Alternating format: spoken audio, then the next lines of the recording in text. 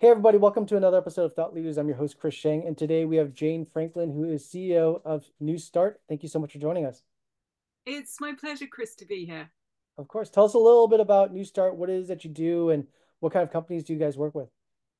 Yeah, um, well, my KnewStart is quite different to a lot of organizations out there. It's a small organization, mostly comprised of, of myself and a small team. And I work mostly as an influencer.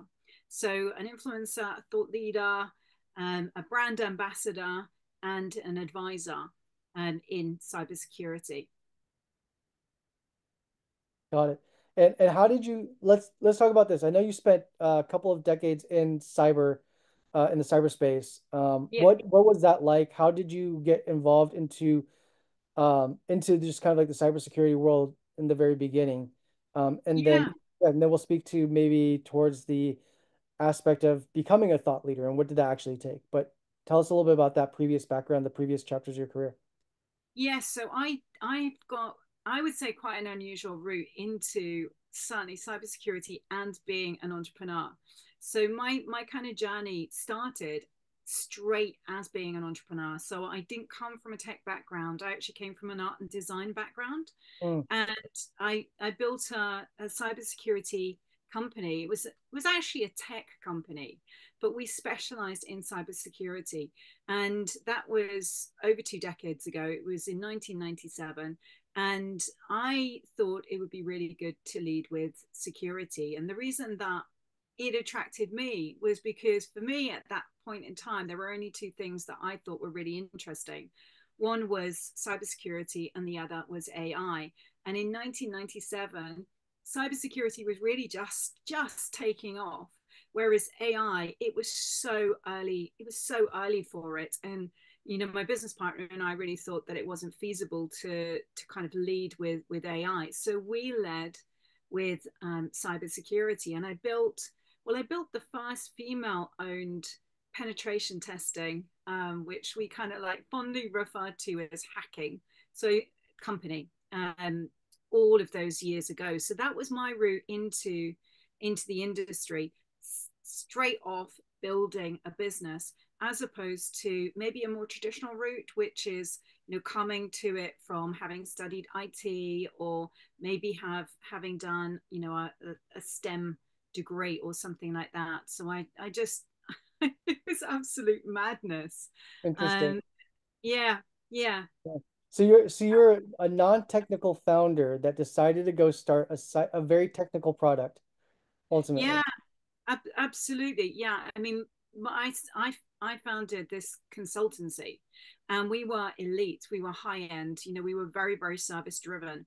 And, um, but I had no experience at all. But one thing that I am good at doing is spotting gaps in the market and Mm, also kind of like looking at trends and seeing where they're going. So I didn't know that really at the time, but I just kind of did what interested me and where I felt that there was a market.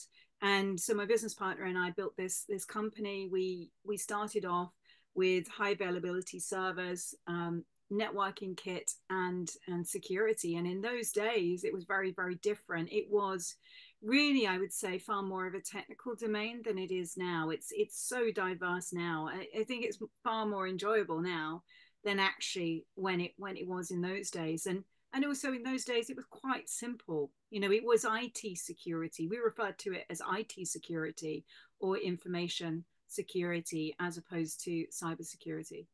yeah. I'm curious as to, you know, you mentioned you came from a design background before Yeah, starting that.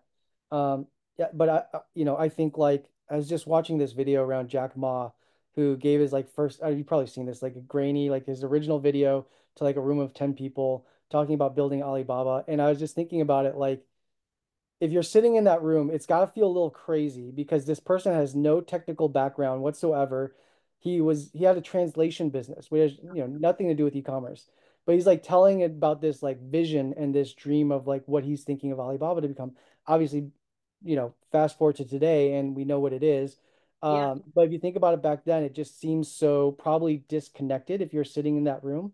And I'm curious though, like a lot of the successful founders I've seen, you know, maybe on paper don't look like the best match to start that business and maybe in your case is very similar but like what about that experience or what about you specifically would you say then made you the right person to do it because I, I think at the core of everything is like a great founder is just like a somebody who is relentless and obsessive about specific problem and and it's the their ability to figure it out right like and and the discipline to do it Yeah, I, th- I think you touched on something really important there. Well, two two things that, that really stand out for me. One is having that vision. So you have to have that vision and you have to be able to sell that vision. You've got to take people with you and inspire them. And you've got to attract when you're starting, you're starting a company, then you know it's it's bloody hard. You know, it's hard. My company was organically grown, so we had no investment. So if we failed, you know, we were back to doing our jobs, you know, and, and neither my business partner and I wanted to do that. So you have to have this this vision and you have to be able to inspire people to come and join you on it. You know, one as clients and and two also as employees. So it's massively, massively important. And the thing I think my strength was actually it's actually connected to diversity because I didn't come from this tech background, because I wasn't fundamentally a techie, you know, my business partner was, you know, he was the one that was, you know, sound in that area. I had, you know, pretty good, um, I would say, intuition, business instinct, and I was hungry to be successful, to make money, to scale this this business, you know, within a certain amount of time, and you know, to walk away with an exit and, and go live go live the dream. So I was I was really clear on that. And I had those business skills. You know, I could sell, I knew how to um, do the business operations side of things. So we complemented one another really well, as opposed to starting, you know, with two highly technical uh, people, which is, I think, most of the time when I'm seeing businesses start up, that's how they're they're starting. They're starting with similar skills as opposed to complementary. And i think that's why you know we we did well. We were we were on the same page. We had complementary skills and we were really clear with what we wanted to get from it and what type of business we were building we were building an elite um, service driven organization that was going to be leading in the market and, and we did that we did that really well i mean we made loads of mistakes as well as we went along but um, that that enabled us to to do that. Got it. Um, and how much do you feel like just that coming from your background has let's talk about the journey to thought leader, right? And like influencer where Yeah. um, you know, it's a different it's probably a different it's a different set of skills, it's a different set of like hats that you're wearing in that capacity now, right? Yeah. Um, when how did you how did you make that definitive transition or was it just kind of like a gradual evolution um before at one point in time then you make a decision like I'm going all in on this Yeah, I would say that's exactly how how it was. I mean, I I didn't set out to be an influencer. You know, I'm I'm still kind of like toying with what I call myself. You know, is it influencer? Is it thought leader? Is it brand ambassador? It, you know, the conclusion that I've come to is it's it's whatever whatever works for the audience you're speaking to. Um, but I I didn't set out to become an, an influencer. What I was doing was I was writing and I was speaking about things that I was passionate about. Mhm. And I was consistent with that. I wanted to help. I wanted to make an impact. I wanted to improve things.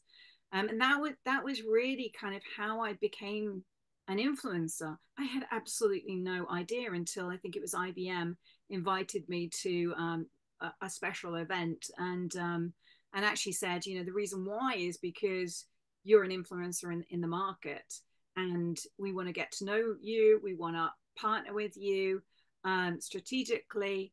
And that's kind of how how it happened. And that was my first kind of inclination that I was becoming an influencer or or um, had had influence.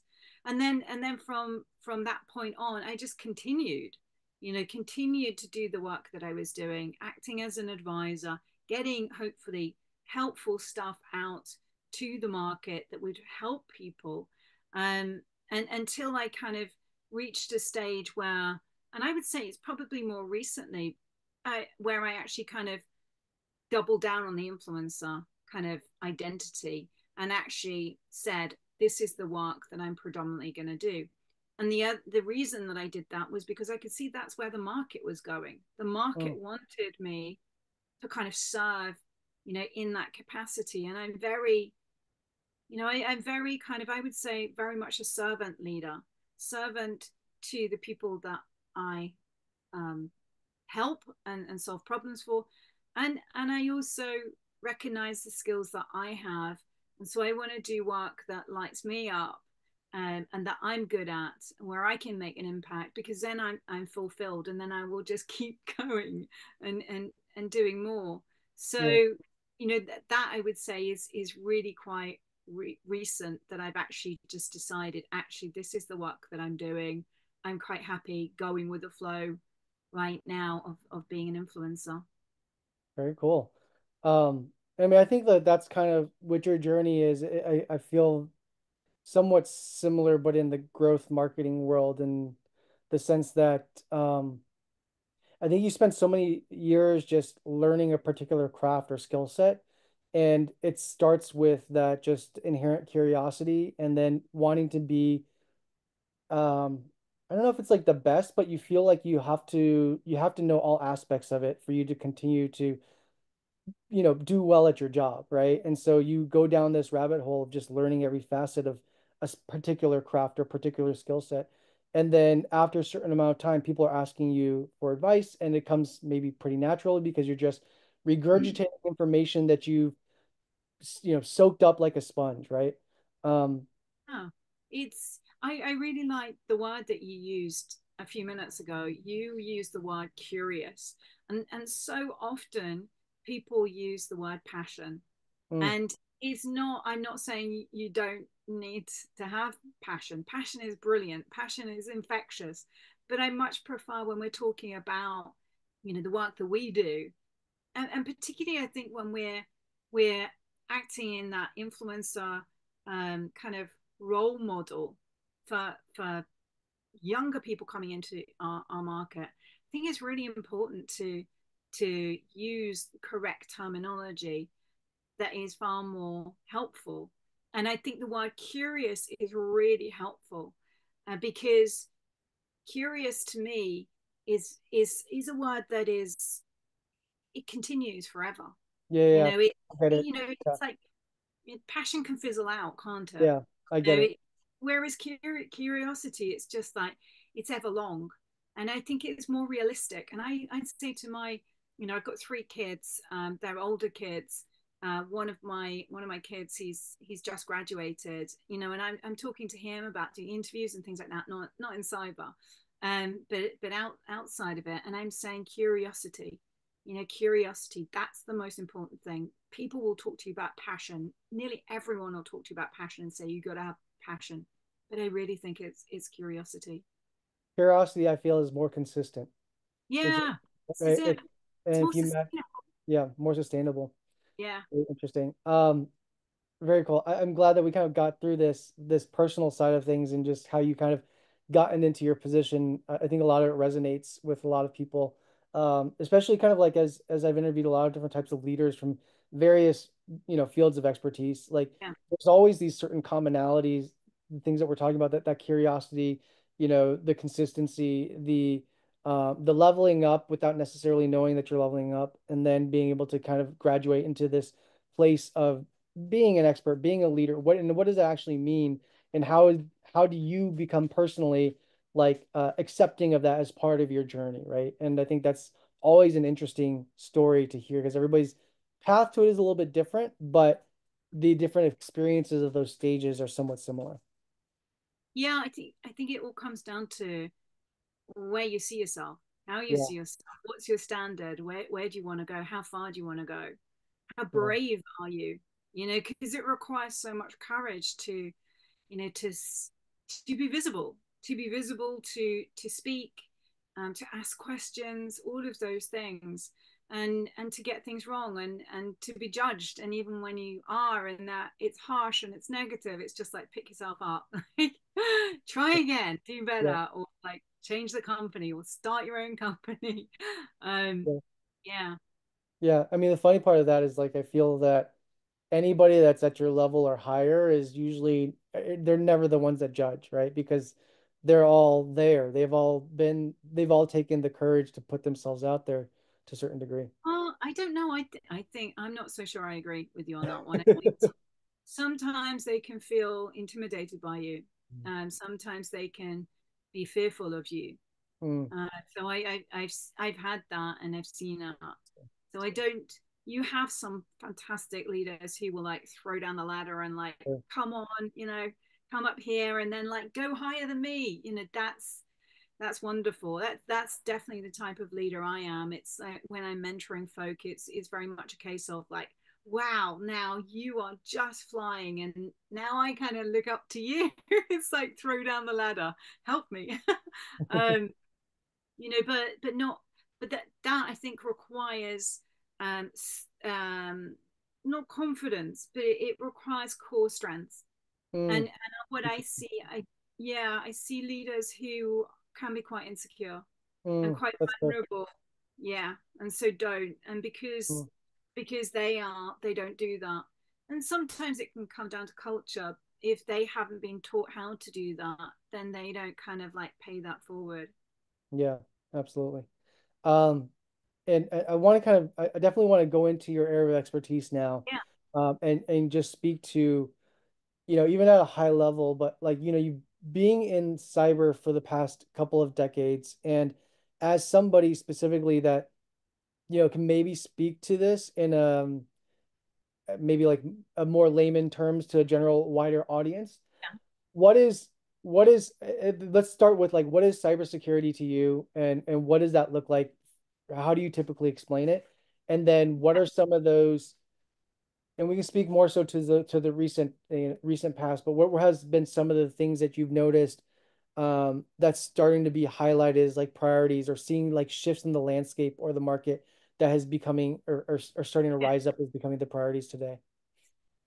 Yeah, loads of questions there. I think you know cybersecurity is really about doing business as securely as you can, mm-hmm. and it's about it's about um, it's about bouncing back when when you when you're compromised you know when you're when you undergo a data breach or or you know uh, you, you've undergone yeah a data breach. That's to me what it is.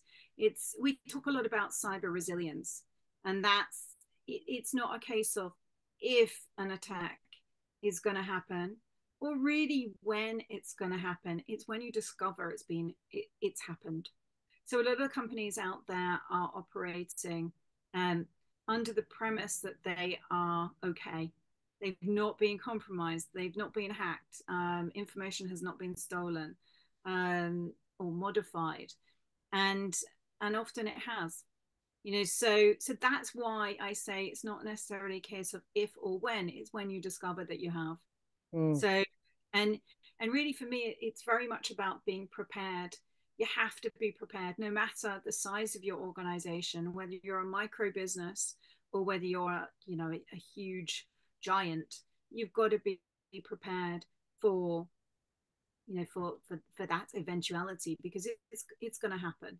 You know you've got cyber criminals targeting small businesses because they are ill equipped they don't know what to do. They don't they haven't got a clue they don't have the tools in place. They don't have the people in place. You've got cyber cyber criminals um, going after larger organizations because they um, the the return on their investment is is greater. So you've got a case of like volume small companies micro businesses small to medium enterprises. Let's attack those en masse. We can make loads of money um, and then you've got a situation where you've got okay let's let's be more targeted let's put more investment in, into this and let's go after bigger you know the, the the bigger target to get a greater return. So that's and that's just in terms of cyber criminals. You know we've got other um, uh, threat actors out there you know who might not be wanting to just make money. They might want to be um, getting an advantage. It could be more on the cyber espionage side of things. So they want to hack into your organization and and steal information so that they can get a head start on innovation. Or it could be a country that wants to um, target you and that can help them financially or it can help them in terms of innovation competitively. Um, and then you have activists who are out there so they want to disrupt and they want to get their ideology and agenda you know out to to the world. So lots of different kind of scenarios there. And the other one of course you've got you've got um well, i say of course but the other one you've got are um, the accidental um, insiders. So that they're employees who aren't meaning to make um, to to cause an event they're not meaning to do something which is dangerous for your organization but invariably their behavior is. So you you have got lots of different scenarios going on that can cause yeah. aggravation for you for your company both in terms of you know financially and also in terms of reputation and um and compliance you know regulation. Absolutely.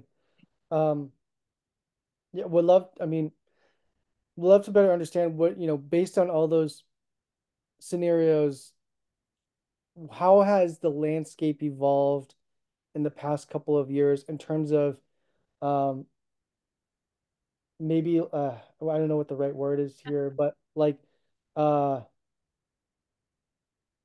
you know, I, I would say like, you know, with it, if we talk about time frame, right? Like internet itself is like very short lived, yeah. short life so yeah. so far. And you talk about cybersecurity and how fast things are advancing around that. It's catch it's it's at the same speed, if not sometimes faster than what the public market is seeing, right? Because you're you're it's this constant battle between two sides, right? Um, yeah.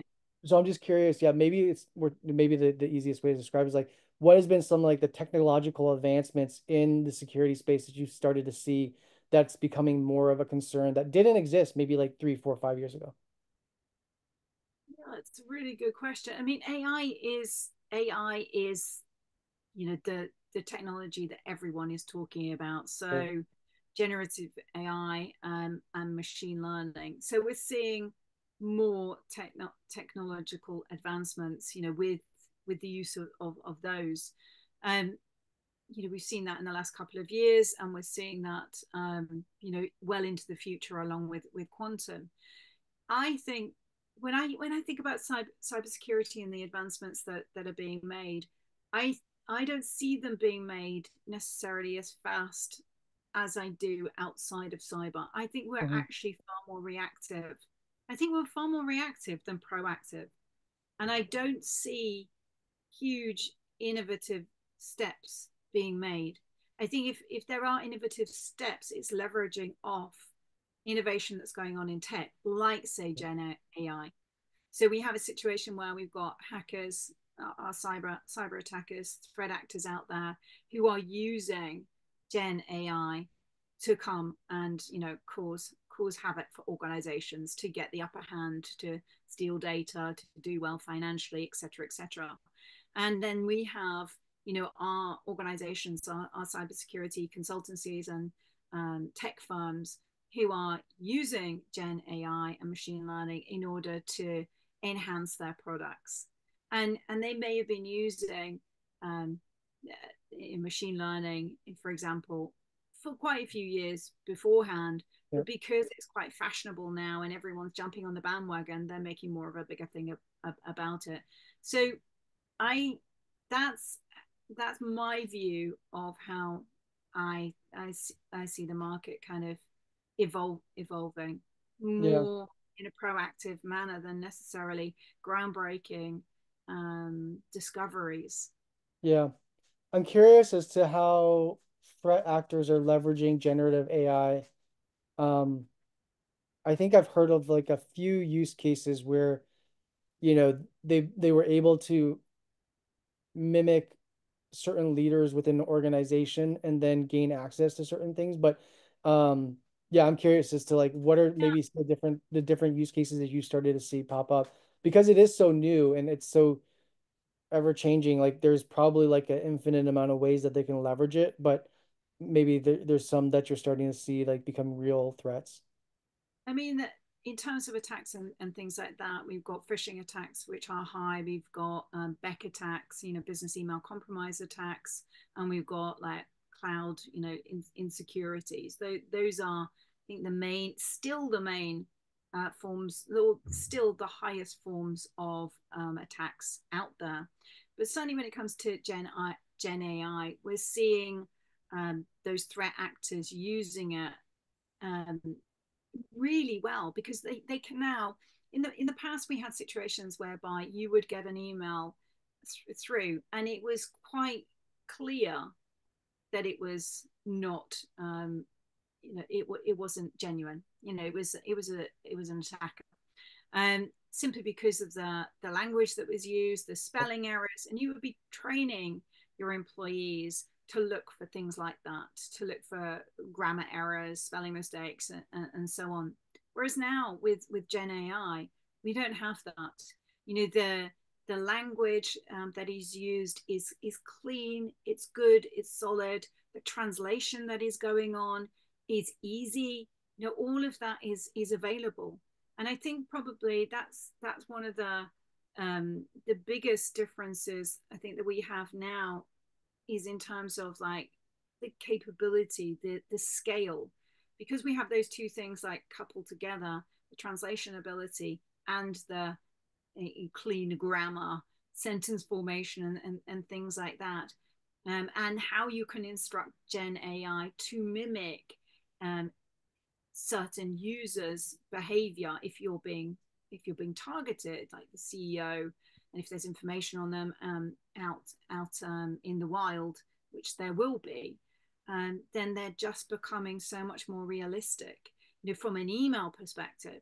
And then when you throw in things like deep fakes, you know, you've got, oh my God, you know, that, that it's becoming so difficult to actually ascertain is this you know the, the real person is this chris you know am i speaking to chris because you look like chris you sound like Chris. How can I tell that it's it's not you? You know, so so we have those situations now, and the price of these technologies are they're coming down, and we've got more competition, so um, the availability of them is is increasing. So you've got that ease and you've got that lower cost, which is perfect for more cyber criminals to kind of latch onto and exploit. Yeah. Um, all all great points. Um, as we're rounding up on time here, just one one final question, and um, maybe it's a little bit more personal. Where do you where do you find yourself to be most happy or finding the most enjoyment over the next few years? Um, you know, I know you mentioned that this this recent uh, adoption to kind of go all in on the influencer side of things is still relatively new for you, but is that something you plan to lean into much more heavily in this space in the next few years? Yeah, absolutely. I would like to do that, but I've also got my eye on the future as well. So it's nothing's gonna nothing's gonna remain static, and I'm very much um, I'm not a static sort of person. So I think for me, it's probably going to be creating events you know mm. that's something that i'm kind of like looking to do and i'm i i've been toying with this actually for quite a few years and not done anything with that and i keep being encouraged to do this and um, so we'll see at the moment i'm i'm good with the the influencer aspect. I'm really enjoying writing and researching and speaking um, and kind of using my perspective to help the market to see things in a different light and to advance and help you know companies and, and, and brands and governments sometimes to to do better with with the work that they're doing. But i think you know on the horizon it could well be you know uh, and some events that I'll, I'll do I, I in my head i've got this particular type of event that i want to do and we'll see if that happens i'm being really cagey about it but it could it could be events that would, could cool. be fun yeah, I'm happy to I'm happy to share offline kind of we we started to do these uh, founder roundtables across the country um, in 12 cities. Uh, we just started this year, but we we ended up getting sponsorship from JP Morgan and um, and a law firm called K&L Gates, which is Bill Gates's dad. Uh, wow. And uh, yeah, and we've we're we've done like eight cities so far. We're going to be in Raleigh, North Carolina, and Washington D.C. in September. But it started off as just this. Is I'll, I'll tell you this this story, but it, it started off as a combination of a breakup and not wanting to be in Los Angeles, and so I wanted to get out of LA, and so I was like, let's just do this, and we and a combination of that and being double booked for an event that we did for LA and SF Tech Week. And so we had to come up with a different format. And so we came up with an entirely different format, tested it in the LA Tech Week, and it blew up. We had like 300 people show up. And uh, and so it was just taking a, a format that we saw on a on an ad hoc basis turn into something that was that we saw there was a valid appetite for, Yeah. and then just taking the format across the country and started just doing it where um, yeah, just like these one-offs, did like four cities um, in 2023. And then it was all of a sudden like, hey, we should take this and see if we can get sponsors for it. And then Yeah. did this year that way. Yeah, it's, it's, So but did you taken off the charge? Did you charge the leaders to attend? We did not know. Um, but We're it's, you it know, free. Yeah. doing it for free right now, but like it could become a monetization thing for sure. It was, I think I look at it as stages, right? So the first one was like proving there's an appetite in the market Yeah. for it. Once we proved that there was an appetite, then it was like, okay, can we just do this at cost and not even like pay anything Yeah. out of pocket for it? And Yeah. then some sponsors to help us cover the networking part of it, the, you know, all, the the space, all that kind of stuff, and then getting the the hosts in or the guests in. The next version of it though would be creating into a business model where we charge more for spon like additional sponsorships, selling the different tiers of those, um, you know, selling the the seats uh, as part of the panel, those kind of things. Yeah. Now we kind of have the playbook of it all figured out. Is it? Yeah, it's really good. I mean, it's it's that investment, isn't it? It's that okay, well, let's try this, let's see. Um, let's take the hit and we'll we'll carry this, you know, for a period of time.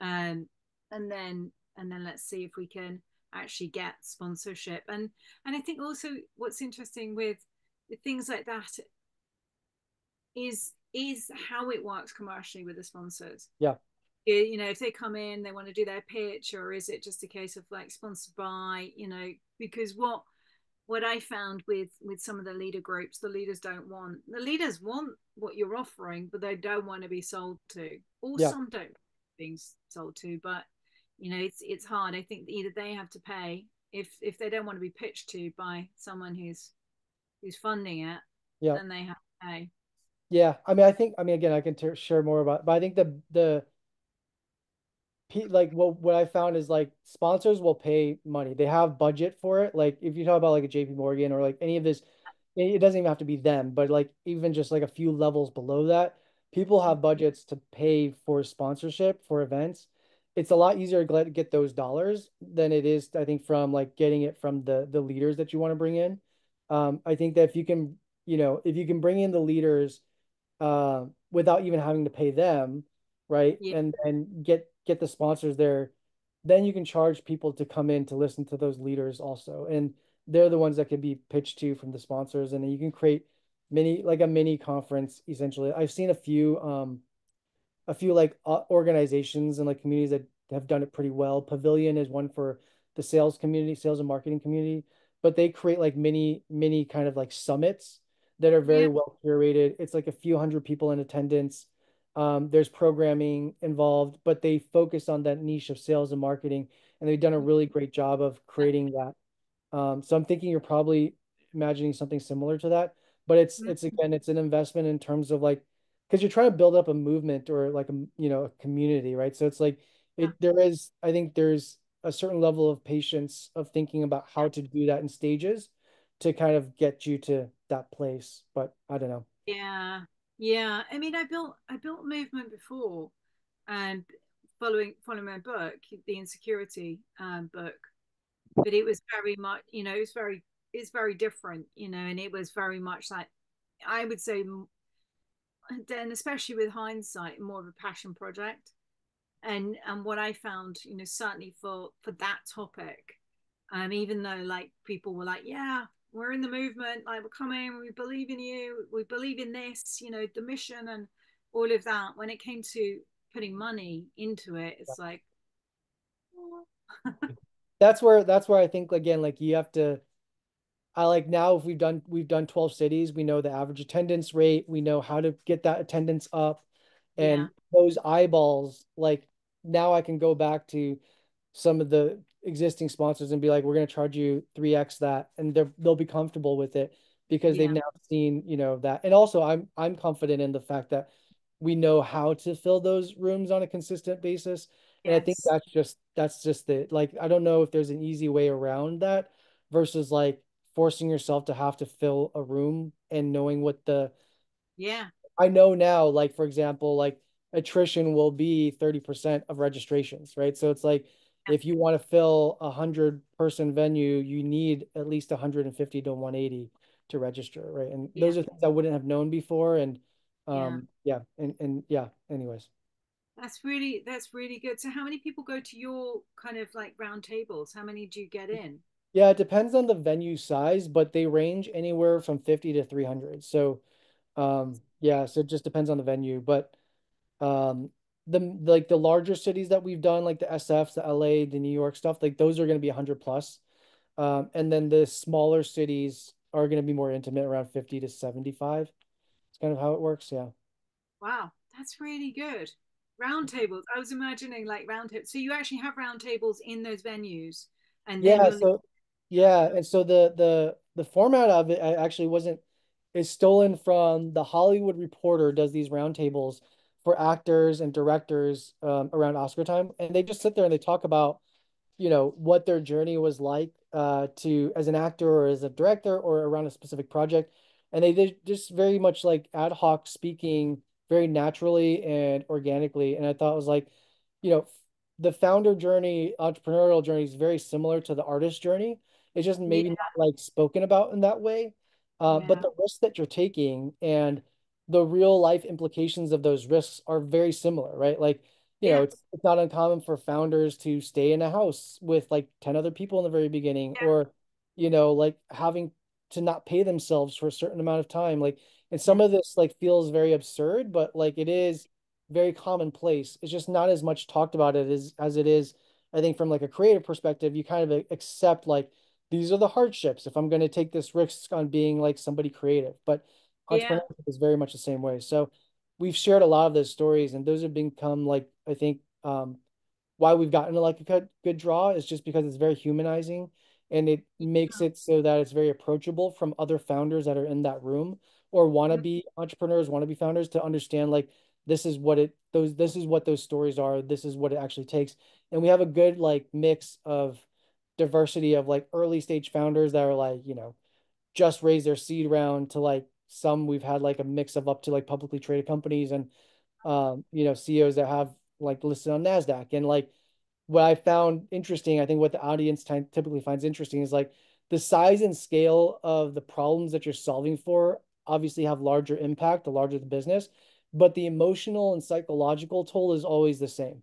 It's like it doesn't matter if you're solving it for a thousand person company or you're solving it for a one person company the the feeling of you going through it is still the yeah, same and and from day one but yeah, um the implications are just different yeah. so So anyway true. it's So it's true. just an That interesting sounds really. That sounds really good. So what do they get out of it? Is it just like because it sounds very much community based. It's just yeah like, and the natural extension would be okay. Well, yeah so the the founders get out of it is is basically visibility and content so they get in front of you know an audience um uh Yeah, that actually might make sense for them as as, as customers or, or what have you but more importantly they get the content so we record all of those pieces and we we yeah. we cut it up so that um, not only do they get the long form, but they get all the short form clips of them speaking right in this way, and that's become very valuable for them. Nice. Yeah. Yeah. Sounds good. That sounds really Yeah. good. Anyways, yeah, I can share more if you have curiosity, but let me know as you progress, and I'm happy to share any yeah. Thank uh, you. just learnings that I've that I've kind of figured out along the way for it. Yeah. Yeah. Thanks so much for that. Really appreciate it. Yeah, of course. Uh, on that note, I know we went way over, but thank you so much for taking the time today and just sharing your journey and also just your area of expertise. And again, if there's any way I can be of help to pay it back to you, let me know too. Thank you so much, Chris. Really appreciate that. Thank you. Thank you.